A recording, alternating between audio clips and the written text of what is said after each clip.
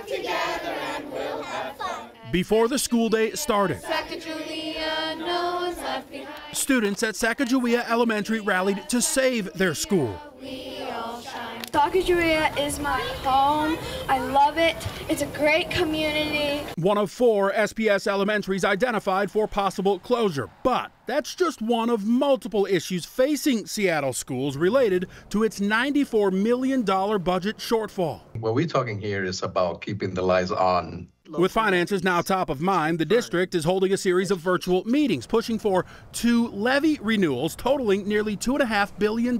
If the levy doesn't pass, we- we're going to be in, in quite of a, a trick. These are not new taxes. Previously passed levies are simply expiring. In short, it helps us provide a higher quality education than the state would provide otherwise without the levies, provide some of these additional resources that are needed by our community. And to be clear, as of now, the district is still moving forward with its recommendation to close the four elementaries, admitting the levies will not fix the budget but could bridge some financial gaps. So, one of the levies would be for three years, the other for six. Based on current home values and district estimates, they'd cost the average homeowner a little more than $200 each year. Now, next month, the school board will decide if the levies will, in fact, be placed on the ballot. That would happen in February of 2025. Madison. Jim, thank you.